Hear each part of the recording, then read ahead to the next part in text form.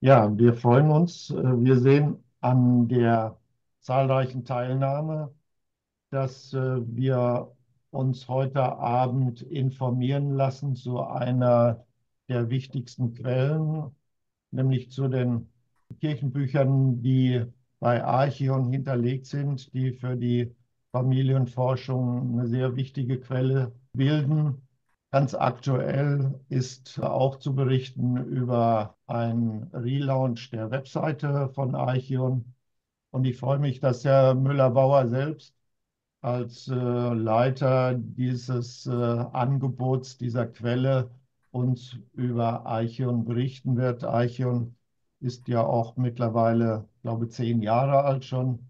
Und äh, ja, wir sind gespannt, was wir da über Archion hören und wie man sich auf Archion auf der Datenbank äh, zurechtfindet, was man suchen kann, was alles schon hinterlegt ist. Sehr viele Tausende von äh, Kirchenbüchern sind dort zu finden und vielleicht hören wir auch, wie es in Zukunft noch weitergeht, was so in den nächsten Monaten da noch online gestellt wird.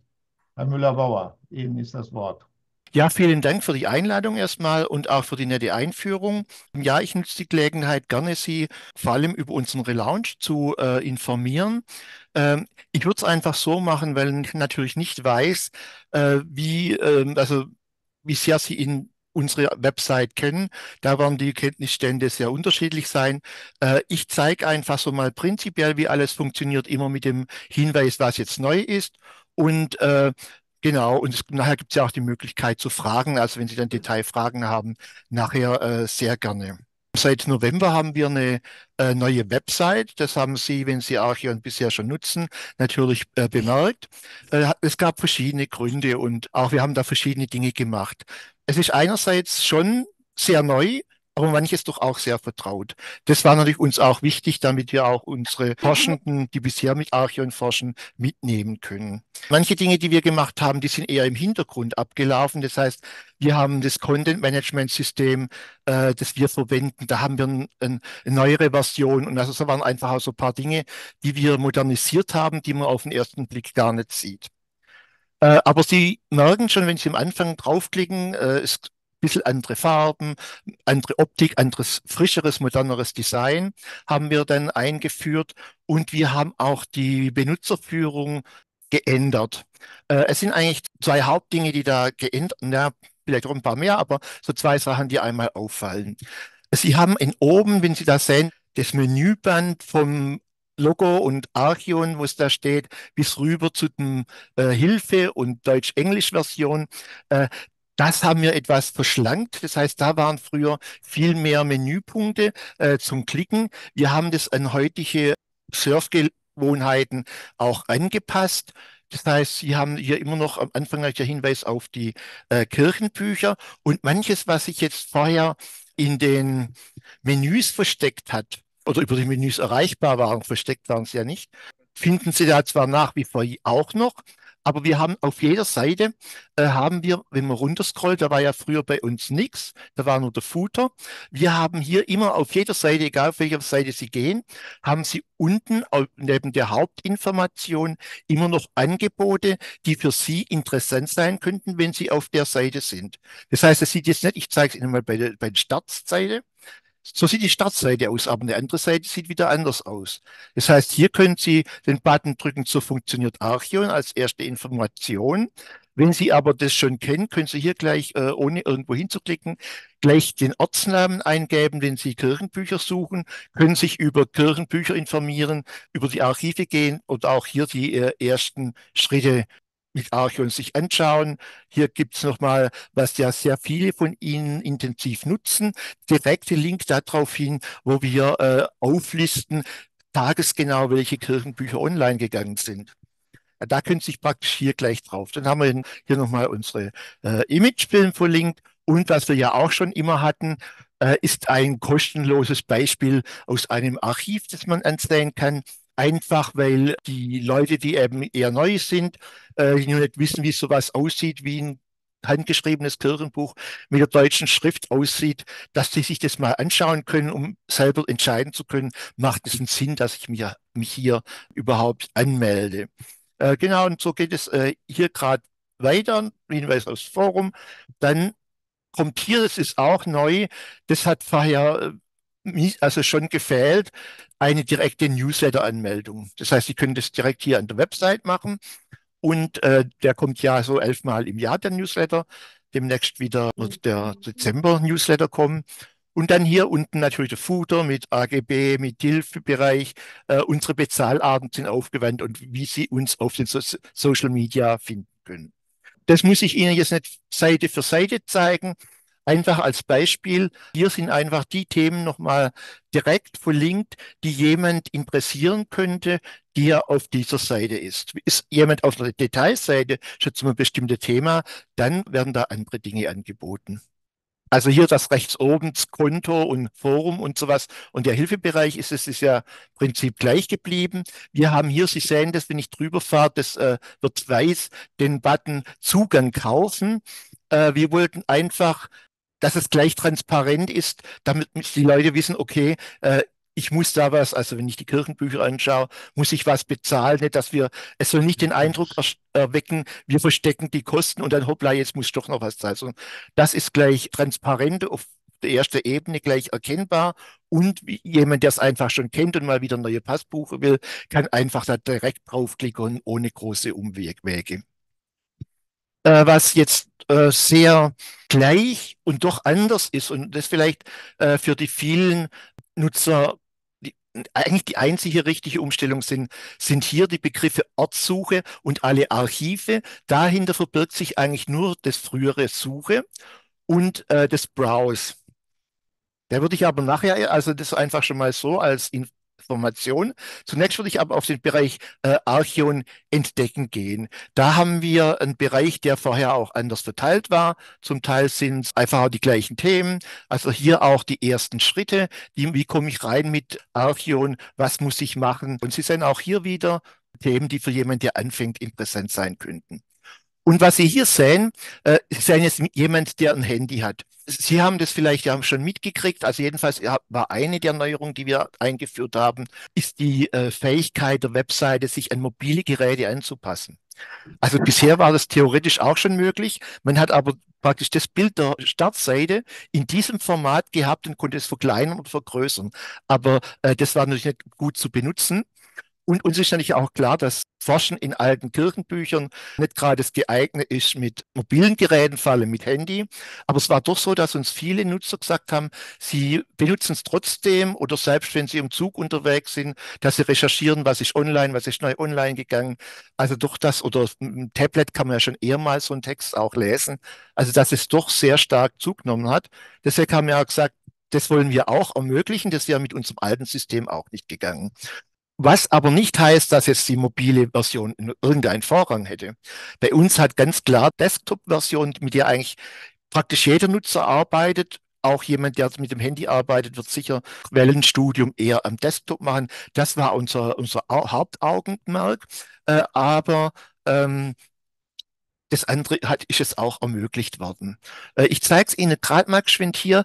Oder gehen wir vielleicht hier auf Kirchenbücher. Wir haben ja die ersten Schritte. Dann haben wir die News, die Neuigkeiten. Gehen wir jetzt einmal auf die Kirchenbücher. Und so sehen, wir haben hier dieses Band, wie, wie bisher auch, äh, mit den Menüpunkten, das blaue Band. Und dann hier haben wir es über äh, Kirchenbücher, hier was dann daneben über deutsche Schrift, Leseübungen und so weiter. Ich zeige Ihnen mal wie es jetzt ganz schmal ist und da sind jetzt die Menüpunkte da oben hingewandert und hier im Hauptfeld sieht man nur die Ortssuche und alle Archive. Die anderen Dinge sind hier an die Menüleiste gewandert. Das heißt, ja. da schiebt sich einfach alles zusammen, je nachdem, wie ihr groß Ihr Bildschirm ist. Das heißt, beim Tablet weniger als beim Handy. Genau, wir haben hier die, wie schon immer, diese Themen, erste Schritte, die News, Ganz wichtig natürlich die neuen Digitalisate. Äh, da sind wir wie bisher auch transparent und Sie können es einfach aussehen. Hier von der Evangelischen Kirche in Norddeutschland sind jetzt 76 Kirchenbücher gestern online gegangen, sehen auch, welche Kirchenbücher das ist, können runterscrollen, dann davor waren es aus Hannover, von der Landeskirche, äh, die Kirchenbücher, da sind 17 online gegangen. Das können Sie wie bisher auch sehen. Wir haben es jetzt mal in eine größere Schrift gesetzt. Muss man ein bisschen mehr scrollen, aber dafür ist auch ein bisschen besser lesbar.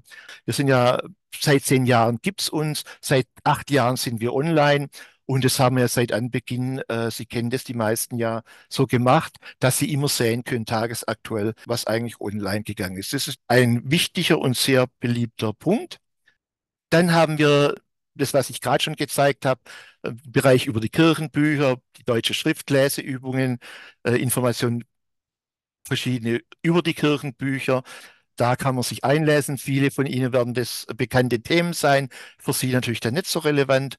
Ähm, aber auch hier nochmal, wenn man da sich durchgelesen hat, den, den, den Suchschlitz und die weiteren Informationen, was eben am Anfang für jemand interessant sein könnte. Dann haben wir hier noch den Punkt Familienforschung wo wir auch ein paar Tipps geben, wie es jemand, also das ist natürlich äh, vorwiegend für Anfänger, wie kann man da überhaupt einsteigen, was ist notwendig, um zu starten. Aber das, für die meisten, für sie wird das alles ja bekannt sein. Nichtsdestotrotz ist es natürlich wichtig für Leute, die sich neu damit befassen, dass die dann einfach auch wissen, was, was sie jetzt eigentlich sinnvollerweise anfangen. Hier auch wieder, wie auf jeder äh, äh, Seite unten im Footer, die Newsletter-Anmeldung. Und hier, das hatten Sie vorher schon mal gesehen, die Möglichkeit, äh, ein Kirchenbuch, also eine, die Kirchenbücher einer ganzen Gemeinde äh, online zu sehen. Da können Sie ohne registriert zu sein, ohne einen Pass bezahlt zu haben, können Sie da reinschauen. Genau, das war äh, das zu dem Bereich, die Ar äh, Archion entdecken. Da komme ich nochmal später dazu. Und äh, natürlich die wichtigsten Dinge sind die Ortssuche. Da verbirgt sich dahinter letztendlich äh, der früher der Schlitz äh, Suche. Nur wir haben es auch wirklich so auf Ortssuche äh, beschränkt, weil hier Leute, die Archeo nicht kannten, manchmal auf die Idee gedacht haben, sie könnten einen Namen eingeben und würden dann ein Ergebnis haben. Das wäre einfach ein falscher Anschein, dem, dem wollten wir uns, das wollten, diesen Anschein will wir uns natürlich nicht geben, haben das hier äh, etwas verändert. Sie sehen auch hier nochmal ein eigenes Suchschutz für äh, User-Generated Content. Da komme ich auch nachher nochmal äh, zurück. Und wir hatten vorhin auf der alten Website hatten wir das Durchklicken durch die Kirchenbuchbestände. Das hieß da Browse. Und wir hatten rechts oben im Menü hatten wir noch einen Punkt Archiv in Archion. Das war immer ein bisschen umständlich. Die Leute mussten dann, äh, wenn sie sich übers Archiv informieren wollten, da rechts oben klicken. Wollten sie aber zu den Kirchenbüchern dieses Archivs, mussten sie sich wieder links durchklicken. Das haben wir jetzt zusammengeführt. Und Sie haben hier eine Deutschlandkarte. Hier können Sie die Bundesländer anwählen. Ich sehe auch gleich, wieso es hier Bundesländer und nicht mehr wie vorher äh, die evangelischen Kirchengrenzen hier dargestellt werden.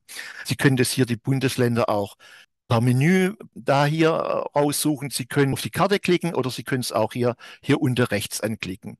Und wenn man sich jetzt zum Beispiel äh, Niedersachsen anschaut und da draufklickt, dann sehen Sie, da sind eine ganze Reihe von Archive drin. Das evangelische Archiv in Oldenburg, das Bistumsarchiv Hildesheim mit einem Teil seiner Kirchenbücher, und zwar eine einzelne reformierte Kirchengemeinde von Hannover, äh, das Landeskirchearchiv in Hannover, das in äh, Braunschweig und das Niedersächsische Landesarchiv, also ein staatliches Archiv, das hier bei uns Kirchenbücher aus dem Bereich Schaumburg-Lippe online gestellt hat. Und äh, deshalb seien Sie hier auch die Bundesländer. Ich zeige es nochmal an einem anderen Beispiel. Wenn wir hier in, nach Rheinland-Pfalz gehen, und zwar hier sehen Sie, hier gibt es auch, obwohl Rheinland-Pfalz ja eher klein ist, hier gibt es mehrere Archive, die wir online haben.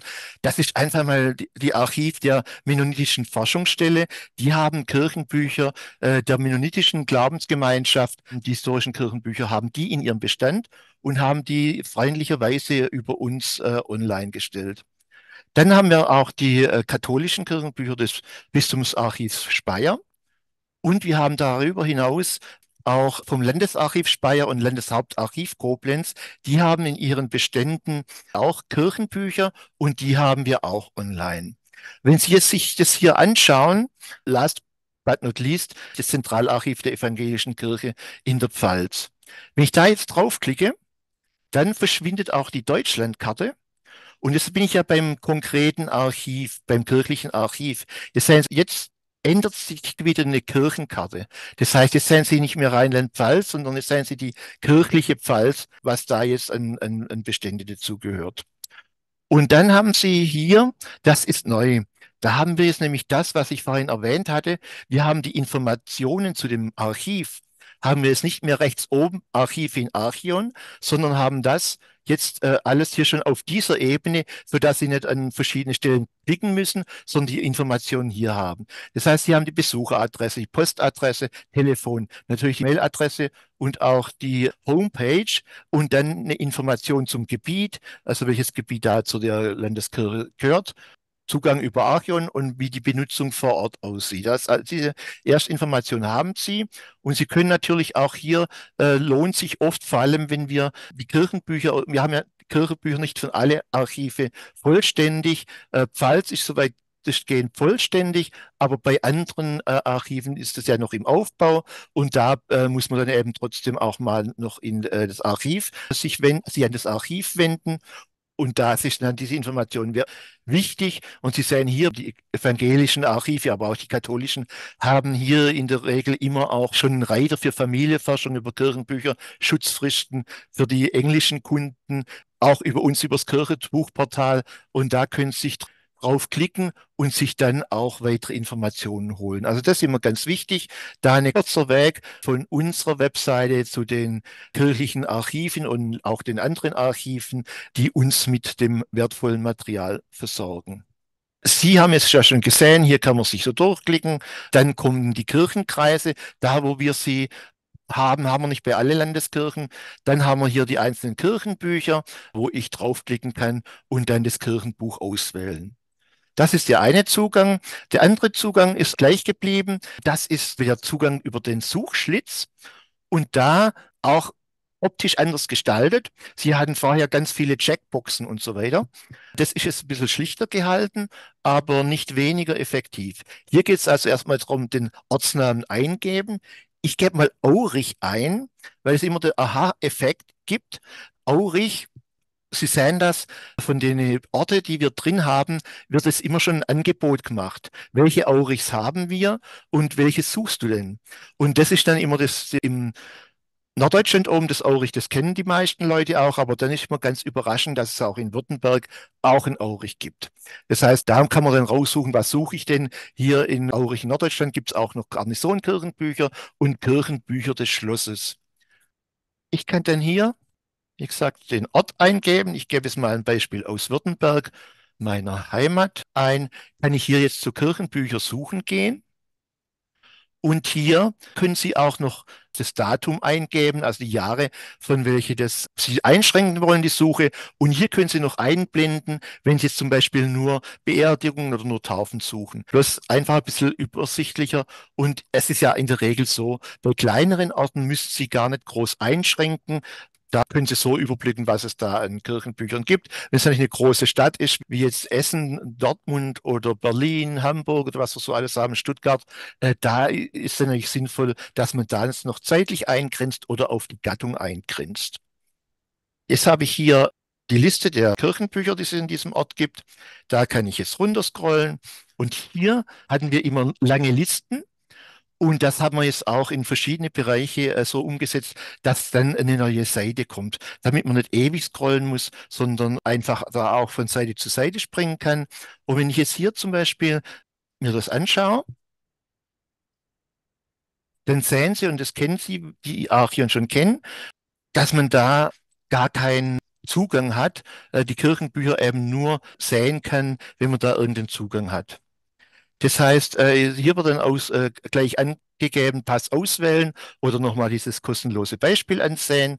Und wenn wir ins Konto reingehen, ich gehe mal in die Kontoübersicht rein, da sehen Sie jetzt, aha, der Pass ist abgelaufen, ich müsste jetzt neu buchen. Und hier sehen Sie auch noch das andere, was sich da angezeigt wird, die zuletzt betrachteten Kirchenbücher und die zuletzt durchgeführten Suchen, die werden auch immer angezeigt. Ich, ich springe gerade zu einem anderen Browser, weil ich da auch mit einem anderen Account drin bin, wo ich nämlich äh, Zugriff habe. Genau, das ist die, die, die, typische Digitalisierung der ehemals äh, mikroverfilmten Kirchenbücher in Württemberg. Und da kann man dann auch neu, also auch sehen, wie, wie der Viewer, welche Funktionen der da hat.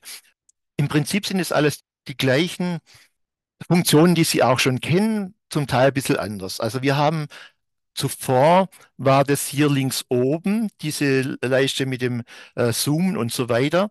Und da wurde uns eigentlich gesagt, dass man das, weil der Blick beim Lesen von links oben nach rechts bzw. unten geht, das sehr störend wäre. Das ist jetzt leider so, auch bei anderen Änderungen, die wir gemacht haben, das ist halt immer so, Manche finden es so gut und manche anders. Also wir haben halt auch nochmal, weil da nochmal Leute auch nochmal nachgehakt haben, haben wir zum Beispiel jetzt das einfach transparent gemacht, so dass da hier nicht noch äh, praktisch ein, ein, Viereck drumherum ist, eine Leiste, sondern die, die, äh, die Sachen sind alle transparent, so dass da möglichst wenig Stoff zum Lesen verloren geht. Dann haben wir hier die äh, altbekannte äh, Zoom-Möglichkeit um das hochzuzoomen. Und an dem kann man es eigentlich vielleicht auch ganz gut sehen. Wir haben hier eine sehr dunkle Stelle, wir haben sehr helle Stellen. Ich kann hier links unten im Viewer, kann ich heller machen. So sehen Sie, es kommt das Schwarze hier deutlicher hervor. Wenn ich es aber äh, dunkler mache, dann kann ich zum Teil helleren Stellen die hellere Schrift besser lesen. Kann es dann aber auch ganz einfach wieder auf den Mittelwert einstellen. Wir haben hier eine Möglichkeit zum Drehen, vor allem wenn halt mein Kirchenbuch auf dem Kopf steht.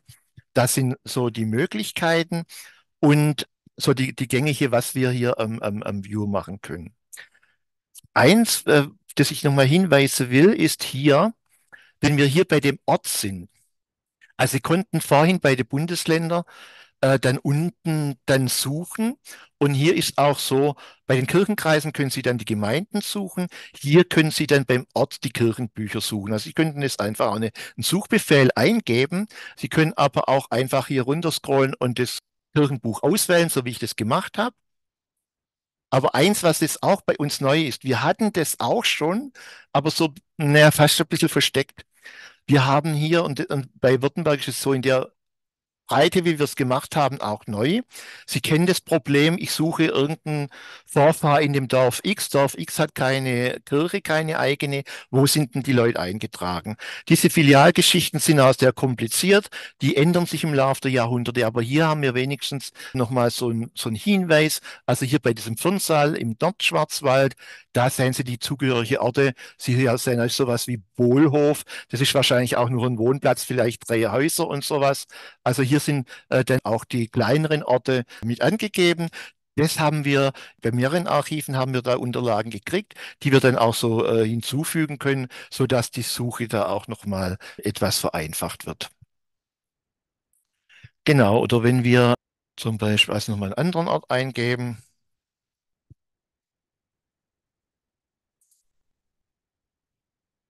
Hier Breckerfeld, Kirchenbücher suche. Sie sehen hier, wenn ich das äh, Kirchenbuch anklicke, dann haben Sie hier äh, den Titel wieder oben, dann haben Sie wieder hier den Bereich Digitalisat anzeigen. Wenn es grün ist, haben Sie freie Zugang, haben Sie einen Pass.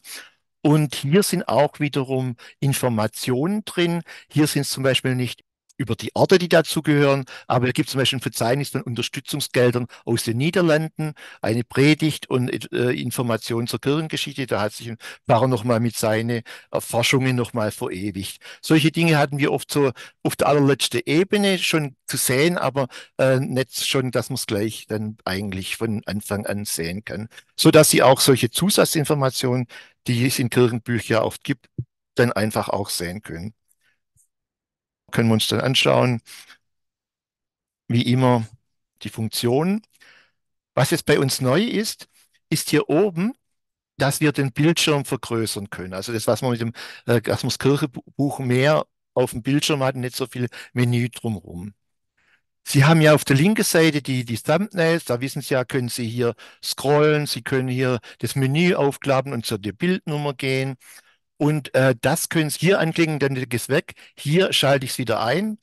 Und hier steht noch Vollbild. Hier, wenn ich hier draufklicke, dann gehen die oberen Menüpunkte weg, so dass ich hier tatsächlich dann auch äh, mehr Kirchenbuch auf der Seite habe. Das Spannende ist ja dann immer wieder, äh, Sie haben ja, die Funktionen habe ich ja genannt. Spannende ist immer wieder die Frage, ja, wenn ich ein Kirchenbuch gefunden habe, wie finde ich das wieder? Sie können natürlich schriftliche Notizen machen, an Ihrem Laptop Notizen machen oder an Ihrem PC, aber es gibt äh, verschiedene Möglichkeiten, um doch das wiederzufinden. Wir haben hier den sogenannten Permalink. Und da können Sie sogar die Zoom-Stufe mit einstellen. Also wenn Sie wirklich sagen, äh, halt hier genau den Eintrag, mir geht es um den, nichts anderes, dann können Sie das sagen, okay, Zoom-Stufe, bitte tu die Zoom-Stufe mit, mit übernehmen. Dann haben Sie hier einen, einen Permalink, den Sie anklicken können, den Sie kopieren können.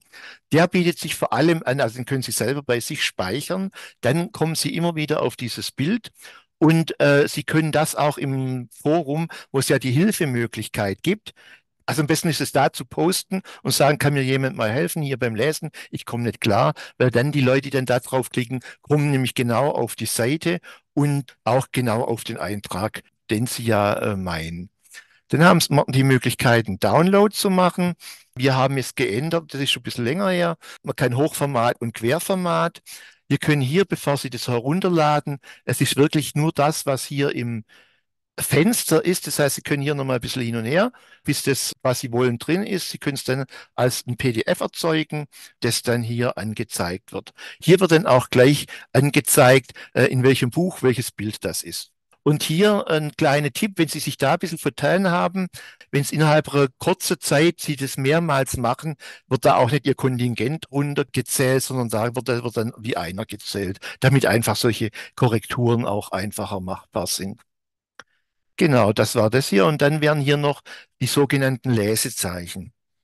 Da steht jetzt schon drin auch vorgegeben, welches Landeskirche ist es, welches Kirchenbuch, welche Gemeinde ist es, können Sie erstellen. Sie können das nachträglich ändern oder können hier auch schon reinschreiben, Urgroßonkel Georg oder so, was auch immer und äh, dann das bezeichnen, sodass sie dann nachher äh, wissen, was sie da gefunden haben, da ganz leicht wieder drauf zugreifen können. Schließen wir das Vollbild wieder. Äh, das ist nämlich so, wenn ich auf mein Konto gehe, dann kann ich nämlich einerseits Nachrichten, persönliche Nachrichten von anderen Teilnehmern an Archion finden, aber ich finde auch hier die Lesezeichen. Da sieht man jetzt die Lesezeichen äh, die ich gesetzt habe. Man kann sie löschen, man kann sie bearbeiten.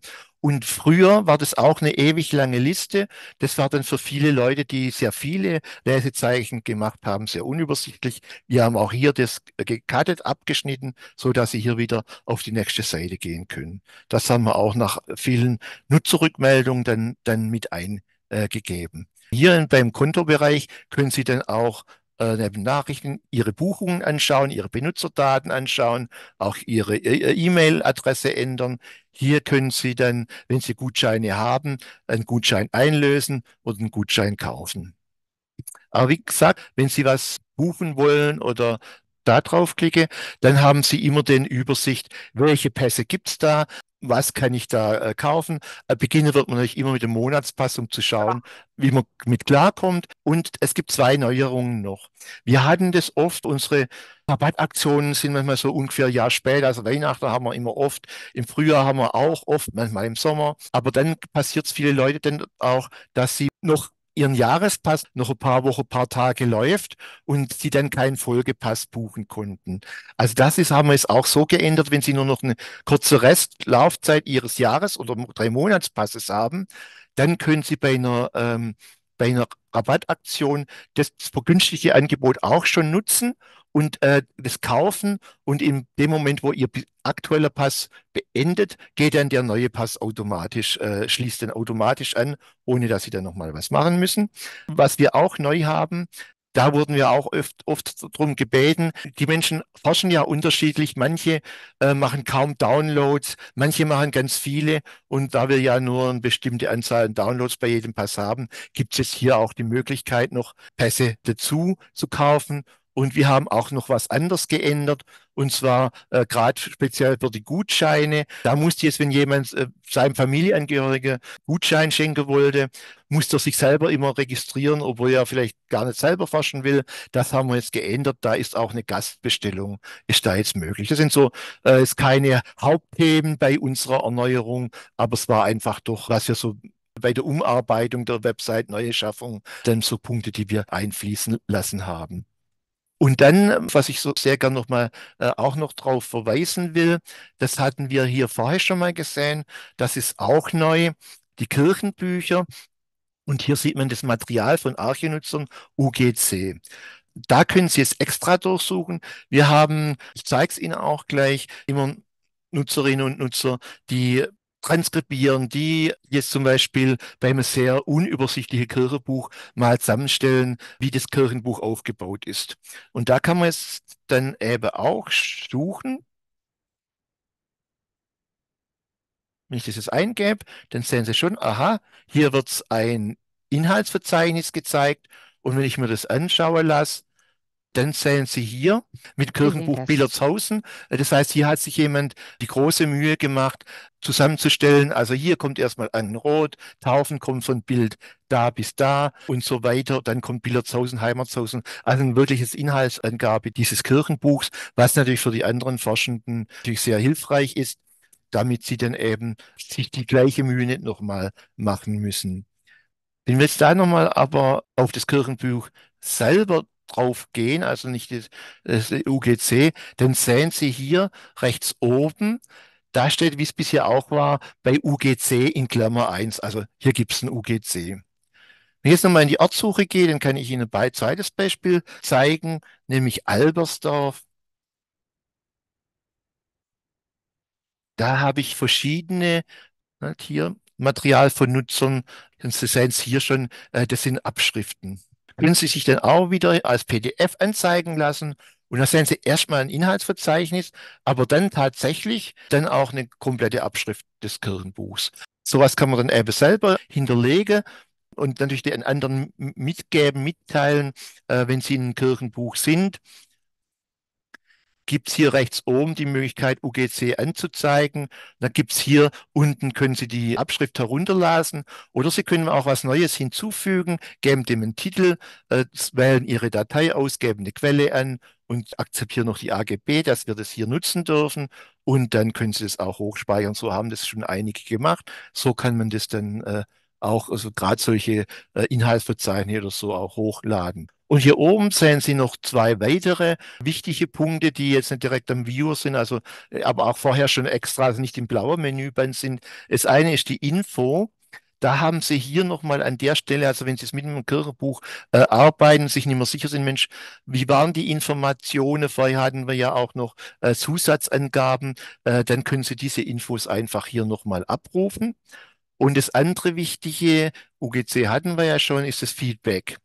Also wenn Sie jetzt hier mal eine beschriebene Seite haben und äh, da entdecken Sie irgendwas, zum Beispiel, dass da eine Jahreszahl drin ist, eine Zeit, äh, Taufen drin sind, das im Titel gar nicht, in der Laufzeit gar nicht angegeben ist, oder da plötzlich zwischen den Taufen Trauungen drinstehen, die auch im Titel nicht angegeben sind, was auch immer, können Sie dann ein Feedback uns geben hier, das öffnet sich dann dieses Fenster und da können Sie den Themenbereich aussuchen, also zum Beispiel Metadaten oder äh, wenn da beim Digitalisat einfach die unterirdische Qualität ist oder hier zum Beispiel Seiten fehlen sollten oder sonstiges. Sie können auswählen, um was es geht, schreiben uns eine Nachricht da rein und wenn Sie das dann abschicken, dann kommt es äh, zu uns als E-Mail rein und es hat im Vergleich zu einer normalen E-Mail, die Sie an info.archion.de schicken, einfach den Vorteil, da ist dann für uns das Kirchenbuch, die Seite schon verlinkt. Das heißt, wir wissen dann, ohne dass Sie beschreiben, welches Buch da jetzt gemeint ist, wir wissen dann schon direkt, auf welches Buch Sie sich beziehen. Bei solchen Feedbacks, das, die für uns auch und die Archive sehr wertvoll sind, die Sie da immer geben, die sprechen wir dann auch mit den Archiven ab, ob die stimmig sind oder wie, wie das da gesehen wird oder ob es da einen anderen Grund gibt, äh, wieso das so erscheint. Und dann wird es mit dem Archiv abgeklärt und dann entsprechend geändert.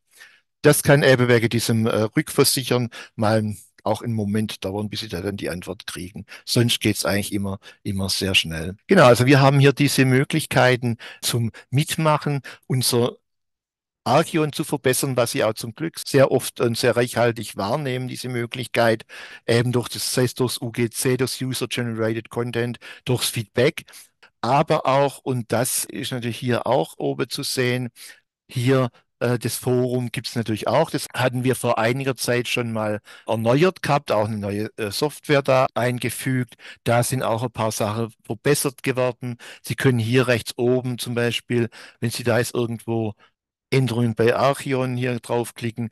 Dann können Sie hier oben in der, der Leiste Beobachten anklicken und dann äh, werden Sie immer, wenn da dazu nochmal ein neuer Beitrag kommt, können Sie sich da per Mail dann äh, entsprechend darauf hinweisen lassen.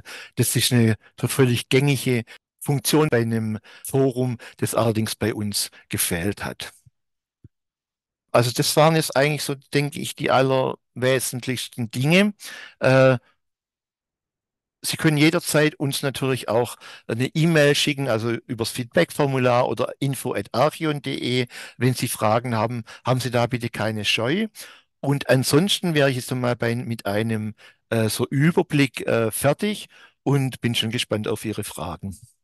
Und zwar äh, war vorhin der Hinweis, das eine Info ist, welche Orte in dem Buch drin sind. Ja. Das äh, kann man auch speziell dann nach dem Ort suchen oder muss man von vornherein schon wissen, in äh, welchem Kirchenbuch das ist? Nee, Sie können nach dem Ort suchen. Orte, die da drin sind, nach denen können Sie suchen. Okay, danke. Und ähm, noch eine Frage, die Scrollfunktion, also die Vergrößerungsfunktion. Mhm. Ähm, ist die jetzt wieder nur, dass man, äh, wenn man auf das Pluszeichen klickt, äh, das in, eben, äh, in, in einigen Sprüngen oder äh, ist das, dass man sich die Vergrößerung so einstellen kann, wie man sie gerade braucht? Nein, das ist wie bisher. Ist wie bisher. Besteht denn da die Möglichkeit da, oder die Hoffnung, dass das irgendwann geändert wird? Weil das ist Äh. für den, für den User extrem, also für mich zum Teil, wenn ich, ich bin, muss ich gestehen, ich habe fast nur katholische Vorfahren, äh, bin also dementsprechend selten bei Archion, aber es nervt mich, wenn ich nicht richtig einstellen kann, also äh, flexibel einstellen kann, welche Vergrößerung ich haben will. Entweder ist es Mhm. mir zu groß oder zu klein. Also ich habe es schon von etlichen gehört, dass ähm, die das bemängeln, dass man das also nicht flexibel einstellen kann, wie zum Beispiel bei Matricula, da kann man das ja ganz flexibel einstellen, wie groß man das haben will. Ja, diese Kritik oder diese Anmerkung, die kennen wir natürlich.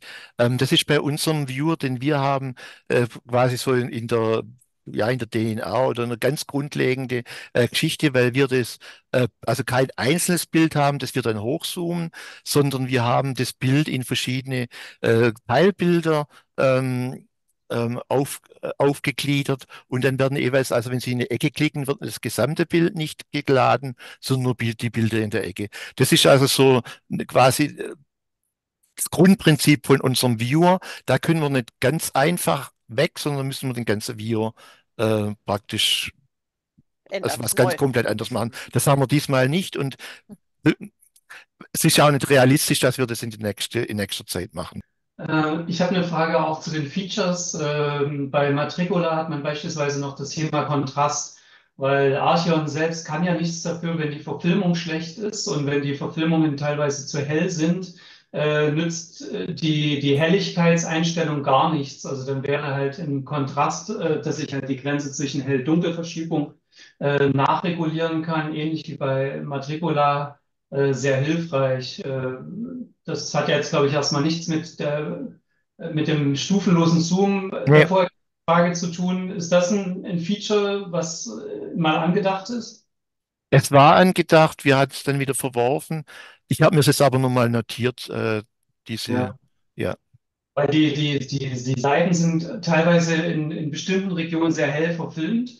Und da ist jetzt noch meine, meine nachfolgende Frage. Äh, Archion bekommt ja von den Landeskirchenarchiven oder beziehungsweise von den Archiven die Dateien zugeliefert äh, von den Verfilmungen. Äh, wenn ich jetzt feststelle, dass dort Verfilmungen zu hell oder zu dunkel sind und die Seiten nicht lesbar sind, äh, mache ich das dann über das Feedback und Sie äh, kontaktieren dann die, die Archive, weil teilweise liegen die Kirchenbücher ja dann wieder in den Pfarrämtern. Also die Hoffnung auf eine Nachverfilmung ist ja äh, eher gering an der Stelle. Ja, also das, ähm, haben Sie recht. Also wir bekommen ja wir äh, von den Archiven die, die Digitalisate und die sind halt so, äh, manche haben es vom Original, manche von Mikrofilme. Äh, kennen Sie, da sind die Qualitäten unterschiedlich. Ähm, Okay. wenn Sie, und das, aber das ist auch gut, wenn Sie da ein Feedback geben, das passiert ja auch regelmäßig. Ähm, ist gut, wenn Sie uns das direkt geben. Wir melden das immer an das zu, ständige Archiv. Es ist ja. nur natürlich so, äh, die Bedingungen in einem Archiv äh, sind zum Teil sehr unterschiedlich. Also da hat ein Archiv zum Beispiel für die Digitalisierung einmal äh, extra Geld gekriegt, hat aber so quasi dann äh, nichts mehr, um da irgendwas nachzuarbeiten. Oder könnte sagen, ja, können wir noch mal probieren, ob wir ich, ich nenne mal jetzt eine fiktive Zahl, in fünf Jahren da so viel zusammenkommen ist, dass wir da nochmal Gelder beantragen. Äh, es gibt dann aber Archive, äh, die vielleicht die Kirchenbücher vor, also im, beim Archiv selber haben. Äh, zum Teil haben sie ja manche komplett, manche haben es nur teilweise, aber da können die dann unter Umständen auch mal einzelne Seiten tatsächlich äh, scannen oder mal ein ganzes Buch und ersetzen. Also die Bedingungen sind sehr, sehr unterschiedlich. Das heißt, es ist sehr gut, wenn Sie es melden. Wir geben es auch weiter, aber es hängt dann je, vom jeweiligen Fall ab, ob da jetzt eine schnellere oder eine sehr, sehr späte äh, um Realisierung gemacht werden kann. Und wonach entscheiden Sie eigentlich, wenn Sie die, die Dateien bekommen, was zuerst hochgeladen wird? Weil im Landeskirchenarchive teilweise sagen, dass äh, die Daten schon vor einer ganzen Weile an Archion gegeben wurden und dann gibt es ja wahrscheinlich irgendwie Nadelöhr im Upload oder? Nee, ähm, das ist so, wir haben, also wir müssen es ja, also wir bearbeiten es erstmal bei uns, äh, gehen mal eine gewisse Prüfung über, über die Festplatten und so weiter. Äh, unser ITler auch, die äh, Bilder, ich hatte es ja gerade vorhin gesagt, äh, werden dann in äh, je nach Zoom-Stufe in mehr oder weniger Teile dann zerlegt. Also es wird dann halt eben neu berechnet bei unserem IT-Dienstleister. Und es ist so, man kann eigentlich generell sagen, ähm, wenn es zu uns ins Haus reinkommt, steht es ein halbes Jahr später online. Okay, danke. Also das ist eigentlich, äh, also gibt es kaum, kaum Ausnahmen. Aber Sie trennen ja manchmal Kirchenbezirk Freiberg in Sachsen, da wird irgendwie bis Buchstabe, ich weiß gar nicht, was es war, M hochgeladen und dann äh, kommt irgendwie dreiviertel Jahr oder ein Jahr später nochmal der Rest. Genau, das ist dann aber einfach so, weil wir das auch entsprechend später gekriegt haben. Also, nach, also es äh, gibt wirklich ganz, ganz seltene Ausnahmen, aber ein halbes Jahr später ist das online. Ich habe eigentlich zwei Fragen. Frage eins, wir, mir war am Anfang aufgefallen, dass beim Zeigen der in Anführungsstrichen Deutschlandkarte äh, eigentlich wesentliche Bereiche wie Ost- und Westpreußen gar nicht angezeigt werden ähm, und gerade Anfänger ja nicht wissen, dass die Kirchenbücher unter Berlin Mitte oder wo auch immer zu finden sind. Ähm, ja, und zumal ja äh, in der Suchzeile nicht äh, Archiv steht, sondern Ortssuche. Äh, also wenn man dann nicht weiß, dass Ostpreußen irgendwo bei Ihnen verdrahtet ist, äh, dann wird es man wahrscheinlich erstmal nicht finden. Der zweite Punkt, ähm, wir sprachen ja gerade über das Feedback. Äh, meine Frage, gibt es zum Feedback ein Feedback? Also wenn ich Ihnen etwas melde, dass mir bestimmte Dinge aufgefallen sind, Sie hatten ja gerade ein paar Beispiele genannt, dann warte ich ja irgendwann darauf, dass ich eine Antwort bekomme, um festzustellen, ist das Digitalisat korrigiert, ergänzt oder wie auch immer worden. Passiert sowas? In der Regel ja also ich, ich kann mich darauf verlassen, muss das nicht irgendwie wegspeichern, um nach ja, also Sie kriegen, wieder nachzufragen. Sie kriegen auf jeden Fall gleich mal eine Antwort, dass wir es äh, bekommen haben, dass wir es zur Kenntnis genommen haben und dann später nochmal. Also wir haben ein sogenanntes Ticketsystem bei unseren Anfragen. Das heißt, wenn Sie an info.archion, äh, müssen Sie sich so vorstellen, äh, wenn Sie da an info.archion.de schreiben, dann kriegt nicht irgendein Mitarbeiter äh, dieses, dieses, äh, diese E-Mail, sondern die geht in ein System rein, äh, kriegt dann auch gleich eine, eine Nummer und da können wir dann, also das wird auch äh, praktisch ja täglich natürlich auch gelesen und beantwortet. Und ähm, da können jetzt zum Beispiel einer von uns dann sagen, oh, das ist eine sehr spezielle Frage, das muss der Kollege oder Kollegin so und so, äh, kann dann das zuschreiben, beziehungsweise äh, auch unserem IT-Dienstleister dieses Thema zuschreiben, dann kriegt er das bei ihm dann aufgezeigt, äh, hoppla, äh, da ist was für dich und dann wird praktisch jede Antwort, die wir geben oder jede Rückfrage, die da kommt, die sehe ich dann unter dieser Nummer alles. Das heißt, wenn Sie dann nochmal unter der Nummer eine Rückfrage haben, sehe ich dann gleich auf dem Bildschirm, äh, dass Sie schon mal angefragt haben und was wir geantwortet haben. Das heißt, das heißt Sie teilen mir dann auch die dicke Nummer mit. Ja. Okay. Die steht dann da drin. Das heißt, wenn Sie dann mal, was weiß ich, vielleicht auch schon viele äh, Rückmeldungen gegeben haben und haben dann in Ihrer Mail da diese Ticketnummer und Sie die angeben, okay. äh, dann, dann können wir direkt darauf zugreifen. Okay. Dann zu meiner ersten Bemerkung. Also das erscheint aber erst in dem Moment, wo Sie aufs Zentralarchiv in Berlin klicken, dann sehen Sie das. Aber ich habe es nochmal. Um den, den Vorschlag machen, dass das irgendwie gerade auf der Startseite erkennbar ist, dass der Ost- und Westpreußen da und da zu finden sind, ja. sonst ja. findet das kein Mensch. Ich habe mir das auch notiert, ganz klar. Ähm, das Problem, was wir natürlich immer haben bei dieser ganzen Geschichte, ähm, ist die, wir können natürlich jetzt, wir können keine Deutschlandkarte mit den Ostgebiete da vorne abdrucken. Das sieht dann so aus, als wollten wir da irgendwelche Grenzen wieder verschieben. Äh, aber Sie haben recht, dass man da einen Hinweis im Startseite hat, das, das, das müssen wir uns überlegen. Ja, das ist wichtig. Okay, danke. Also ist einfach so. Ich kann Ihnen da nichts äh, anderes sagen, als dass der Einwand berechtigt ist. Ich habe mir es auch notiert. Äh, guten Abend. Ich muss mal gestehen, ich bin noch nicht so Archeon äh, bewandert, aber äh, mir ist aufgefallen, dass ich, wenn ich bestimmte Orte, die mich interessieren, äh, oft kommt ja die Information gar keine äh, Daten vorhanden. Macht es dann Sinn, äh, den Zugang zu buchen? Kriegt man dann doch andere Informationen zu dem Ort oder nein. ist dann wirklich nichts zu wollen? Nichts zu wollen, bitte nein, bitte nicht buchen.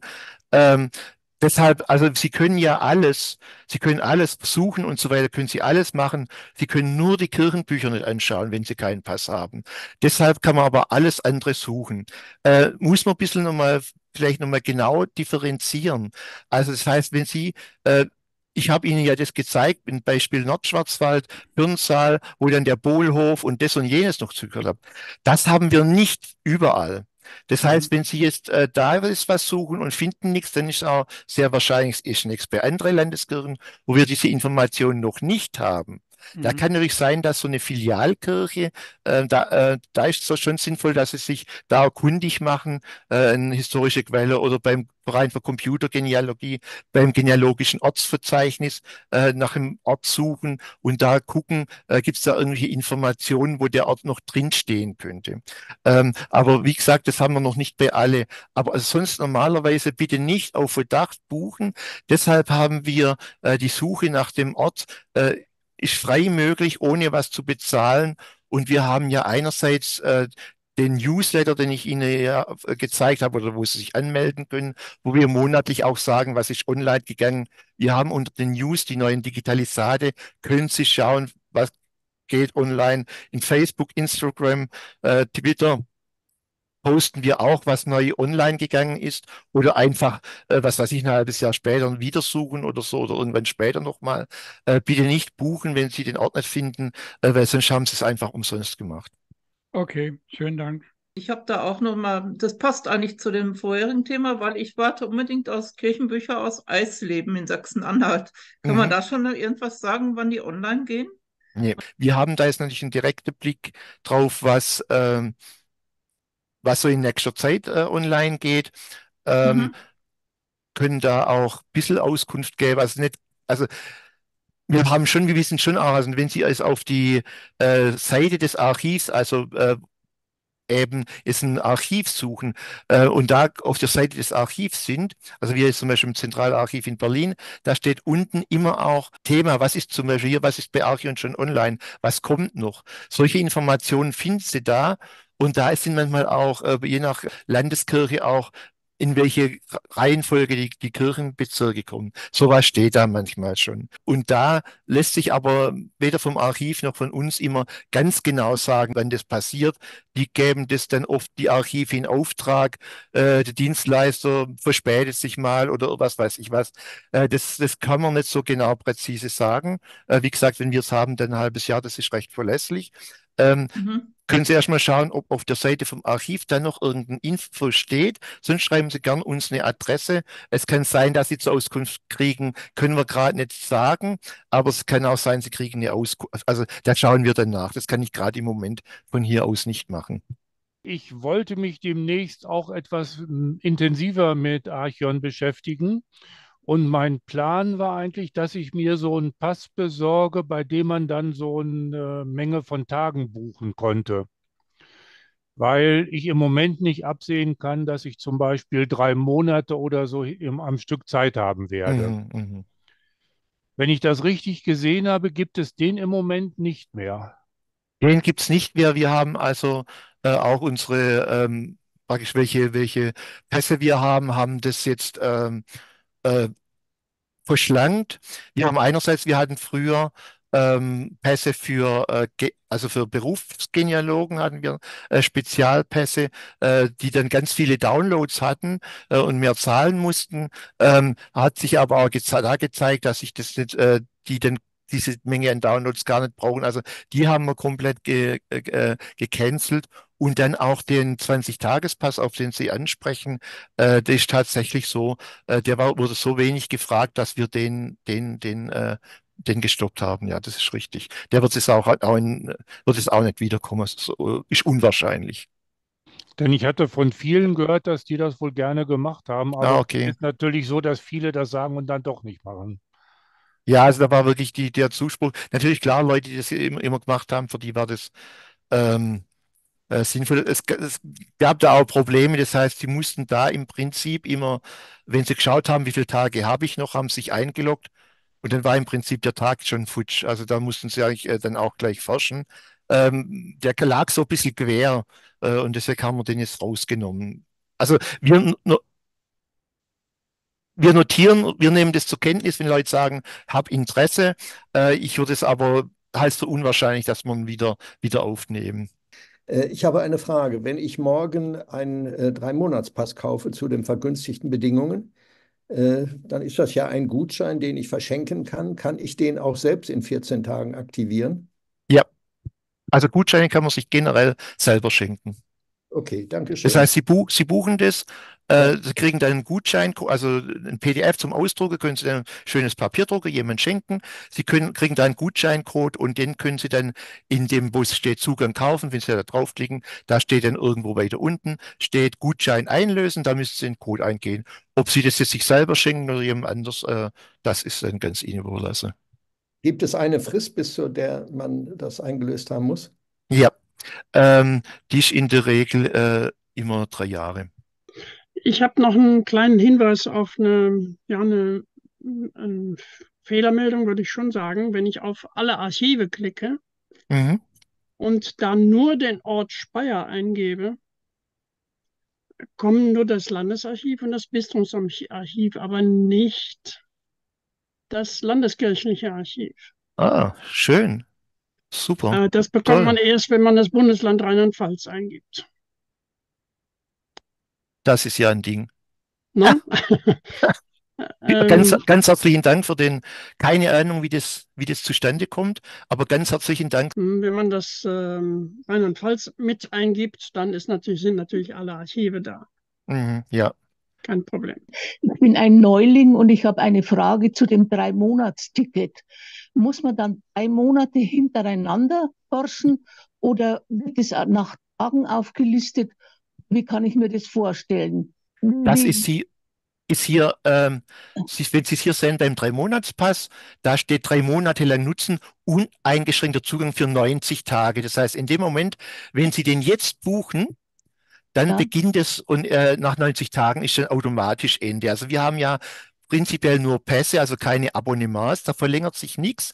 Aber das heißt, bei alle diese Dinge, in dem Moment, wo Sie das jetzt äh, ähm, buchen, fangen die 90 Tage an und danach ist rum. Und in dieser ist- Zeit, ob Sie da jetzt äh, immer nur am Wochenende oder jeden Tag, das ist dann völlig Ihnen überlassen. Also dann haben Sie 90 Tage Zeit. Dann bedanken wir uns bei Herrn Müller-Bauer. Sehr informativ und äh, doch äh, sehr viele Tipps nochmal mitgenommen, was auch die Nachfragen und so äh, bestätigen, dass da doch äh, großes Interesse ist. Und äh, wir haben auch gesehen, es war die Teilnehmerzahl sehr hoch und äh, ja, eine wertvolle Quelle und wir haben, denke ich, alle sehr viel mitgenommen. Nochmal herzlichen Dank an Sie und an alle, die sich beteiligt haben. Ja, ich möchte mich auch nochmal bedanken bei dem, für das rege Interesse. Hat mich sehr gefreut und auch natürlich für die Einladung, dass ich hier bei Ihnen äh, sprechen durfte und äh, erklären durfte und einfach nochmal äh, auch an, an alle Zuhörende das Dankeschön und auch die Bitte, äh, ohne Scheu uns einfach zu fragen, wenn was ist, irgendwas unklar ist, bitte einfach melden oder auch natürlich so wie äh, gerade vorhin passiert, auch wenn mal irgendwo ein Fehler auftaucht, einfach melden, dann können wir uns der Sache annehmen. Vielen Dank.